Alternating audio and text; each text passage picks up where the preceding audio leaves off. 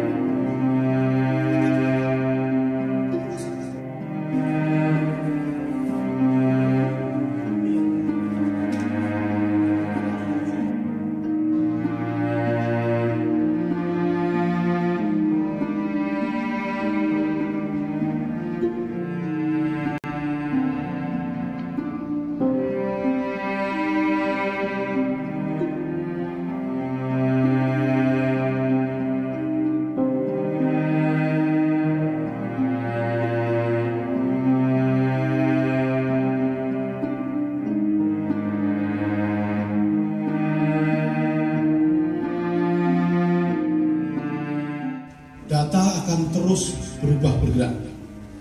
Kami telah menerima data tambahan korban jiwa.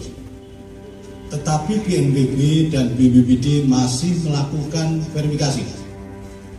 Jadi di lapangan kita memperoleh data lebih dari 131 orang meninggal. Tetapi kami masih melakukan verifikasi, melakukan identifikasi.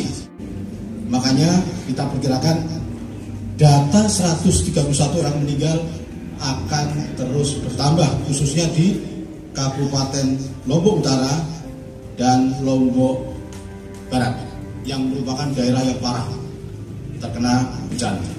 Dan semua korban ini adalah warga negara Indonesia.